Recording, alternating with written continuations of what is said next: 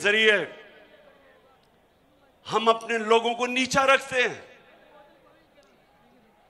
अमीर के लिए, पैसे वालों के लिए इंग्लिश मीडियम अच्छी अच्छी नौकरियाँ पैसे वाले लोगों के लिए।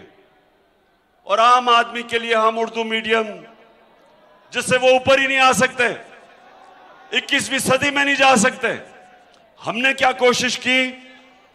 एक तालीमी नसाब सारे पाकिस्तान के लिए, जो अंग्रेज़ों का बनाया हुआ नसाब था, पहली दफ़ा पाकिस्तान की तारीख में किसी हुकूमत ने उसको बदलने की कोशिश की और पाँच क्लासों तक सबके लिए एक नसाब, ताकि मेरे अवाम का बच्चा उस निसाब के ज़रिए पढ़ के मुल्क का वज़ीर आज़म बन सके। मुल्क से बड़े बड़े उहदे वो भी ले सके, डॉक्टर, इंजीनियर बन सके। सिर्फ़ अच्छी नौकरियाँ पैसे वाले लोगों के लिए ना हो तो हमने एक तो एक निसाब और पांचवी क्लास तक हमने की पूरी कोशिश, और दूसरी चीज़ ननकाना यूनिवर्सिटी, आला तालीम मैं ये चाहता हूँ कि जितनी भी हमारी यूनिवर्सिटीज हो, उसके अंदर खास तौर पे टेक्नोलॉजी पढ़ाई जाए। टेक्नोलॉजी का मतलब क्या? मैं आपको मिसाल देता हूँ मियाँ वाली में। मियाँ वाली में मैंने एक यूनिवर्सिटी बनाई है, नमल कॉलेज नमल कॉलेज में से क्योंकि टेक्निकल और टेक्नोलॉजी की डिग्रीज हैं, जो बच्चा वहाँ से निकलता है। पचासी से नब्बे फ़ीसद बच्चों को निकलते साथ ही नौकरियाँ मिल जाती हैं। और नौकरियाँ, सैलरी शुरू होती है सत्तर हज़ार रुपए से एक लाख तक। और यह फ़ायदा होता है जब डिग्रीज डिग्रीज ऐसी हों कि रोज़गार मिल सके हमारे नौजवानों को। तो वो इंशाल्लाह उधर भी हम अगर हमारी हुकूमत को साजिश के ज़रिए ना गिराया जाता, बैरूनी साजिश, बाहर से फैसला हुआ कि इमरान खान को हटाना है, और इमरान खान को हटा के एक उनका नौकरी करने वाला, जूते पॉलिश करने वाला प्राइम मिनिस्टर लाना है। और मैं फिर से, मैं इस हुकूमत का शुक्रगुजार हूँ कि वो जो मुरासला छुप गया था, दबाया गया था, मीडिया ने दबाया था कि पता ना चल जाए कि कितना बड़ा मुल्क से गद्दारी हुई। वो मैं इस इस हुकूमत का शुक्रिया अदा करता हूँ कि उन्होंने वो साइफर को उठा लिया और कहते हैं कि इस पर कमीशन बैठेगी। ये तो आपने ज़बरदस्त काम किया, लेकिन कमीशन आप नहीं बनाएँगे, क्योंकि आपने तो फ़ायदा, आप तो साजिश का हिस्सा थे। कमीशन बनेगी। हमारे ऐसे जजेस जो कि जिनकी क्रेडिबिलिटी है, और इंशाल्लाह वो कमीशन बनेगी। जब भी इसके ऊपर तफ्तीश होगी तो यह साबित होगा। कि बैरूनी साजिश के तहत हमारी हुकूमत इसलिए गिराई गई कि हम किसी की गुलामी करने के लिए तैयार नहीं थे। हम एक आज़ाद पाकिस्तान देखना चाहते थे। और हम इन चोरों को एनआरओ नहीं देना चाहते थे। अब ननकाना, देखें, मैं आपकी अब थोड़ी सी तरबियत करना चाहता हूँ। इस उम्र में सारी दुनिया मैंने देखी है। और मैं आप सबको अपने तजर्बे से एक चीज़ बताना चाहता हूँ कि क्या वजह है कि कई मुल्क कितने खुशहाल हैं। हमारे यहाँ लोग मरते हैं वीज़ा लेने के लिए, उन मुल्कों में जाने के लिए, नौकरियाँ करने के लिए। आप अखबारों में देखते होंगे, टीवी पे, कि किश्तियों में बेचारे लोग जा रहे हैं बच्चों को लेके इन अमीर मुल्कों में नौकरियों के लिए और डूब जाती हैं किश्तियाँ मर जाते हैं लोग। अपनी जान की बाजी लगा के, अपने मुल्कों को छोड़ के अमीर मुल्कों में जाते हैं नौकरियाँ लेने के लिए। तो उनका ना क्या वजह है कि कई मुल्क इतने अमीर हैं और कई मुल्कों के अंदर इतनी गुर्बत है, बेरोजगारी है। तो ये मैं चाहता हूँ गौर से सुने। देखें मेरे नबी सल्लल्लाहु अलैहि वसल्लम ने जब मदीना की रियासत की बुनियाद रखी थी तो उन्होंने वो सबसे बड़ी जो एक असूल उस मदीना की रियासत का था, वो अदल और इंसाफ था। ये आपने गौर से सुनना है, क्योंकि आपको नहीं समझ आएगी। जब तक आप ये चीज़ नहीं समझेंगे आपको समझ नहीं आएगी कि हमने मुल्क के मसले हल कैसे करने हैं। अदल और इंसाफ का मतलब कानून के सामने सब एक बराबर।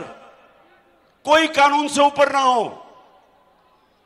मेरी नबी सल्लल्लाहु अलैहि वसल्लम ने कहा, मेरी बेटी भी अगर जुर्म करेगी तो उसको सजा मिलेगी। मेरी बेटी भी कानून के ऊपर नहीं है। और उन्होंने यह भी कहा कि तुम्हारे से पहले बड़ी कौमें तबाह हुई। जिधर ताकतवर के लिए एक कानून और कमज़ोर के लिए दूसरा कानून। जिधर कमज़ोर चोरी करे तो जेल में और बड़ा डाकू चोरी करे तो उसको एनआरओ मिल जाए।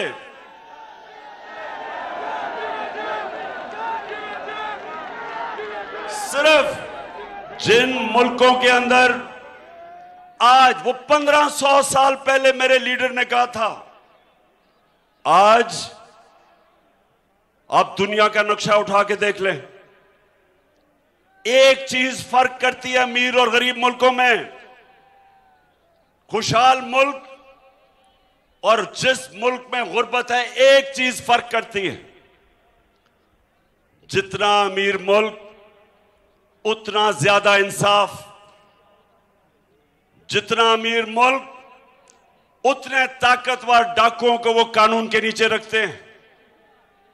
जितना गरीब मुल्क, हमारे वाला हाल है वहाँ, कि चोरी करके मुल्क सा पैसा लूट के और बाहर लंदन में बड़े बड़े महलों में रहे, मुल्क में आए पैसा चोरी करने, लूट के बाहर ले जाएँ। और हमारा इंसाफ का निज़ाम उनको नहीं पकड़ सकता। सिर्फ़ छोटे चोरों को पकड़ता है, गरीबों को पकड़ता है जो मजबूरी में, बेरोजगारी में अपनी बच्चों को खाना खिलाने के लिए घर में बीमारी है, पैसा नहीं है। वो जो मजबूरी में ऐसे भी लोग हैं, कई तो वैसे चोरी करते हैं। लेकिन कई लोग बेचारे मुश्किल वक्त में साइकिल चोरी, मोटरसाइकिल, गाय, भैंस, वो तो जेलों में चले जाते हैं। छह महीने की सजा वो छह साल बेचारा गरीब आदमी जेल में रहता है। लेकिन ताकतवर, अब ताकतवर का ये देखो, मैं सारी कौम के सामने ये दिखाना चाहता हूँ कि अभी जनाब नवाज़ शरीफ और मरियम ने कहा, जी, हम बेकसूर हैं। हमारे से बड़ा जुल्म हुआ। हमारे से अदालतों ने भी बड़ा जुल्म किया। और हमारे से कोई खलाई मुख, पता नहीं, मखलूक ने बड़ा जुल्म किया। तो ये मैं आपको सबको दिखाना चाहता हूँ कि क्या जुल्म हुआ या नहीं हुआ अपने आँखों से देखना भी वीडियो में। हुआ क्या? इन्होंने पैसा चोरी करके बाहर ले गया नवाज़ शरीफ। बेटी के नाम पे इसने महँगे तरीन लंदन के इलाके में चार बड़े बड़े महलात ले लिए, अरबों रुपए के। और ये हमेशा कहते रहे कि जी हमारे तो है ही नहीं है, क्योंकि इनके पास पैसा ही नहीं था। इनके टैक्स रिटर्न्स में, असासे में इतना पैसा ही नहीं था कि इतने महँगे फ्लैट ले लेते। तो झूठ बोलते रहे कि हमारे फ्लैट नहीं है जी। इनको नहीं पता क्या होना था। अल्लाह हक है। हक के खुदा ने, अल्लाह ने एक इंटरनेशनल इंकशाफ किया और उधर सब कुछ सामने आ गया। तो जरा आप ये देखें कि जब मरियम से पूछा गया, आज से दस साल पहले के, बताएँ जी, फ्लैट आपके हैं? दस साल पहले तो वो क्या कहती है? इस तरह मुझे लगा कि आप लोगों को बेवकूफ़ नहीं बना सकते। मेरी सिस्टर लंदन में प्रॉपर्टीज़ तो दूर की बात है मेरी पाकिस्तान में भी कोई प्रॉपर्टी नहीं है। मैं अपने वालिद के साथ है। और आ, मुझे समझ नहीं आई कि मेरी और मेरी वालदा की और बहन भाइयों की प्रॉपर्टीज़ ये कहाँ से निकाल के आए हैं। मेरे नाम पाकिस्तान में कोई प्रॉपर्टी नहीं है ये तो इंग्लैंड की बात है। अच्छा पाकिस्तान में भी कोई प्रॉपर्टी नहीं है। बेचारा अगर उसको कोई आप कोई उसको अपने घर में ठहरा लें बेचारे के पास कोई प्रॉपर्टी नहीं है। अच्छा आप देखें। अब उस बेचारी को नहीं पता था, ननकाना, कि सच का खुदा है। वो सच सामने ले आता है। बैरूने में एक बैरूनी इंकशाफ हो गया, जिसको पैनमा पेपर्स कहते हैं। जब वो इंकशाफ हुआ तो उसमें यह आ गया कि जनाब, ये चार बड़े बड़े महलात इनकी मालिका मरियम बीबी है। तो जब वो आ गया सामने और ये चार साल के बाद आया तो मरियम के भाई साहब क्या कहते हैं? जरा ये पहले सुन लें, सब देखें। को तस्लीम करता हूँ कि अल्हम्दुलिल्लाह पाक लेन के ऊपर जो अपार्टमेंट्स हैं, वो अल्हम्दुलिल्लाह हमारे हैं। मैं इस बात को तस्लीम करता हूँ कि उनको ऑफशोर कंपनीज़ नेस्कॉल लिमिटेड और नीलसन लिमिटेड जो है, उनको ओन करती हैं। और मैं आपको ये भी अर्ज़ करता हूँ, उनको होल्ड कर रही है इस वक्त मरियम नवाज़ शरीफ, मेरी हमशीरा जो है। ठीक है जी? ठीक है जी। ननकाना सुन लिया आपने। तस्लीम करते हैं कि ये हमारे चार बड़े बड़े मल्लात हैं।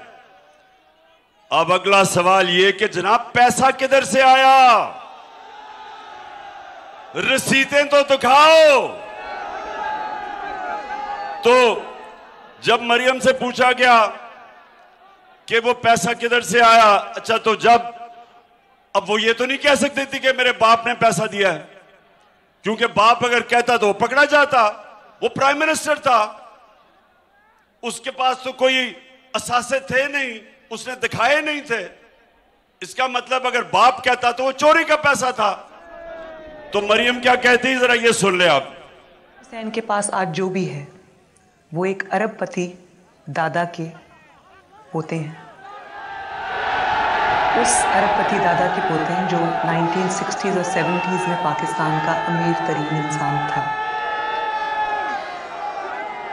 ये जो एसेट्स हैं, ये जो बिज़नेस के लिए पैसा है, ये सारा दादा से डायरेक्टली बच्चों को ट्रांसफ़र हुआ। सुन लिया ना, अब बाप का तो कह नहीं सकती थी। तो उसने कहा, मेरे दादा का पैसा था। अब दादा से किसने पूछना था? वो तो अल्लाह के पास चला गया था। तो किसने कहना था? जी, दादा का पैसा था, दादा की वजह से हमने ये महँगे, महँगी जगह ले ली। लेकिन फिर सुन लो, ननकाना वो हक का खुदा है, सच का खुदा है। उस वो क्या जो मरियम का दादा था, वो शबाज शरीफ का बाप था। ठीक है ना? ठीक? अब शबाज शरीफ अपने मरियम के दादा के मुतालिक क्या कहता है, ये सुन लो। मेरा खानदान, मेरे खानदान को बाईस खानदानों में शुमार नहीं होता था। मुझे इसके ऊपर बाईस फख्र है कि मेरे वालिद का ताल्लुक एक गरीब किसान के घराने से था, हिंदुस्तान।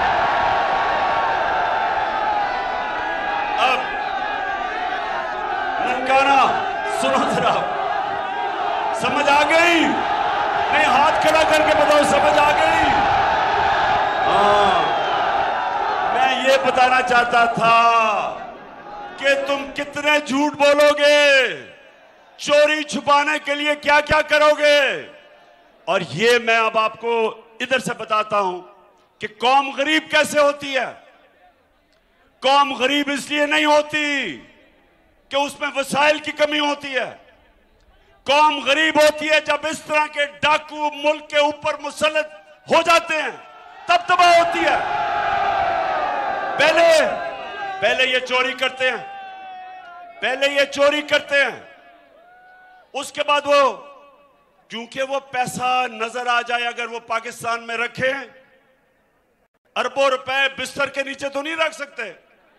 बैंकों में रखेंगे तो लोग पूछेंगे किधर से पैसा आया?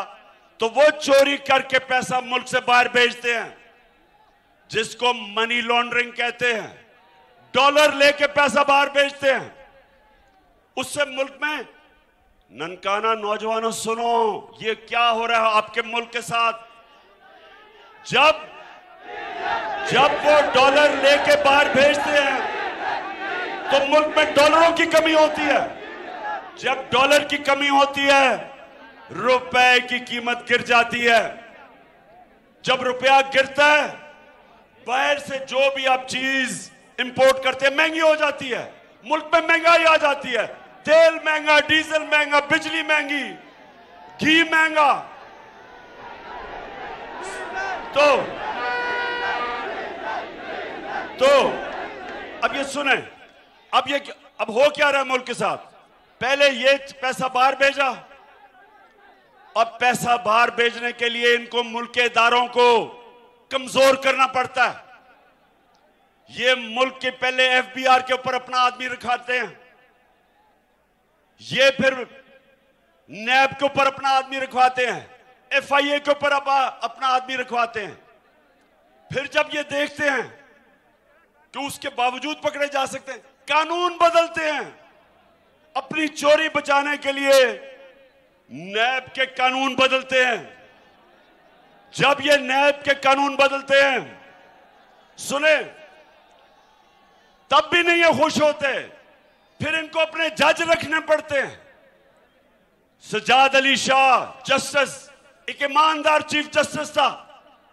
इन्होंने डंडों से सुप्रीम कोर्ट पे हमला करके उसको भगाया। क्योंकि ईमानदार ईमानदार चीफ जस्टिस को यह बर्दाश्त नहीं कर सकते थे। ये जजेस के अंदर तकसीम करते क्योंकि चोरी बचानी है। इनको अपने जज चाहिए, इनको अपने एफआईए का हेड चाहिए, क्योंकि नहीं तो जो मकसूद चपड़ासी के चार अरब रुपए आए थे, अगर एफआईए गैर जानबदारी से अगर वो तफ्तीश करे तो पकड़ा जाएगा शबाज शरीफ। तो अपना एफआईए का हेड बैठाया अपना नैब का हेड अपने जजेस के ऊपर ये पूरा कोशिश करते हैं अदालतों को। अपने साथ मलाने की तकसीम करने की। इनका सारा माजी है। अपने आईजी रखते हैं। ये आईजी भी वो रखते हैं जिस तरह इस्लामाबाद का, जिसके ऊपर करप्शन का केस था। दो नंबरों को रखते हैं ताकि कंट्रोल कर सके। ताकि वो इंसाफ ना दे, इनको ये कंट्रोल करें। ये अपना आर्मी चीफ रखने की कोशिश करते हैं। क्योंकि हर चीज़ को कंट्रोल करना चाहते हैं। मेरिट की कत्लेआम होती है। कानून की बालादस्ती तबाह होती है। जंगल का कानून आ जाता है। और फिर जब ये इनकी चोरी जब कोई नहीं पकड़ता तो किसी भी ताकतवर की चोरी नहीं पकड़ी जाती। मुल्क लूटा जाता है, मुल्क मकरूज हो जाता है। जब जनरल मुशर्रफ ने इन दोनों डाकुओं को एनआरओ दिया 2008 में, क्या हुआ उसके बाद? क्या हुआ उसके बाद? चार गुना कर्जा बढ़ा पाकिस्तान का। छह हज़ार अरब से जो 60 सालों में पाकिस्तान का कर्जा था 6000 अरब, ये जब दो डाकू खानदान आए 10 सालों में हमारा कर्जा चार गुना बढ़ के तीस हज़ार अरब पे पहुँचा। और उसकी कीमत कौन अदा कर रहा है? आप अदा कर रहे हैं। महँगाई के ज़रिए आप अदा कर रहे हैं।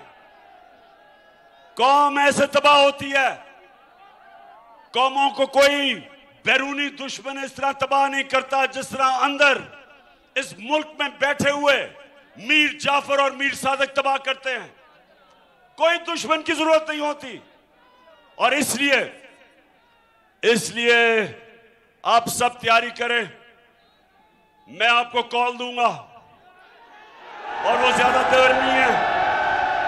मैं तैयारी पूरी देख रहा हूँ।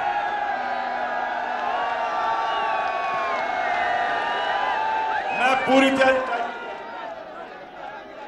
मैं पूरी तैयारी कर रहा हूँ। मैं कॉल दूँगा, लेकिन उससे पहले उससे पहले ये सारे चोर जमा होके हर किस्म की कोशिश कर रहे हैं कि किसी ना किसी तरह ये मुझे और मेरी पार्टी को किसी तरह पब्लिक की नज़र में गंदा करें। और वो क्या कर रहे हैं? गंदी गंदी वीडियो तैयार कर रहे हैं। गंदी गंदी वीडियो वो डीप फेक वीडियोस मैं भी आपको दिखाऊँगा। वो घर में बैठ के नई टेक्नोलॉजी के ज़रिए गंदी वीडियोस और फिर टेप्स दिखा रहे हैं ऑडियो टेप्स मैं अदालत में जा रहा हूँ कि prime minister prime minister office और उसके घर की जो सिक्योर लाइन थी, किसने उसकी टेप की और फिर लीक कैसे हुई? किसने की? चले, अगर आप सर्वेलेंस भी करना चाहते हैं प्राइम मिनिस्टर की कॉल्स की, करें। लेकिन उनको लीक करना यह जुर्म है। यह जुर्म है और इंशाल्लाह अदालत में जाऊँगा और पता चलाऊँगा कि कौन सी एजेंसीज ये कर रही हैं। क्या मैं कोई दुश्मन हूँ मुल्क का? पचास साल से मुझे कौम जानती है। मुझे दुश्मनों की तरह और मेरे लोगों को केसेस झूठे एफआईआर हर रोज कट रही है। जो भी आप करेंगे, ये जो भी करें समझ जाए। ये आप, मैं चैलेंज करता हूँ। जो भी आप करेंगे, आप नहीं रोक सकते इस सलाब को। ये जो पाकिस्तान में इनकलाब आ रहा है, कोई नहीं रोक सकता। मेरा चैलेंज है आपको।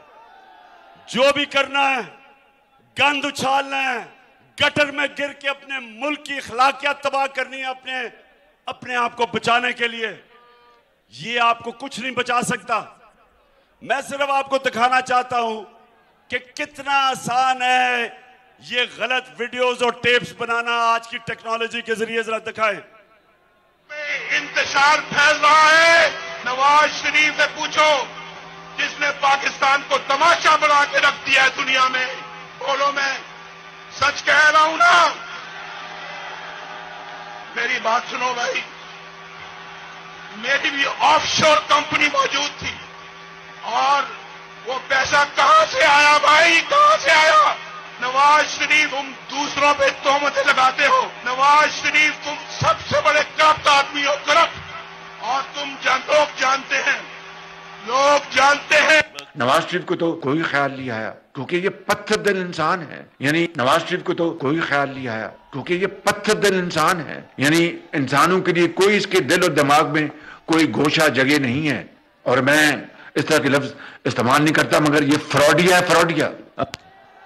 मेरा नहीं ख्याल कि शहबाज शरीफ से ज़्यादा इदारों को किसी ने बदनाम किया है, किसी ने उनको सियासत के लिए, अपने पेटी सियासी गेन के लिए इस्तेमाल किया है। अगर शहबाज शरीफ को इसी तरह सपोर्ट किया जाता रहा मुल्क को इसी तरह अंधेरों में झोंका जाता रहा तो ये फिर मुस्लिम लीग नून के हाथ से भी बात बाहर चली जाए ठीक है। पहले दिन से भरोसा था कि एक दिन सच सामने आएगा एक दिन पूरी दुनिया को पता चलेगा कि इमरान खान कोई आम शख्स नहीं है।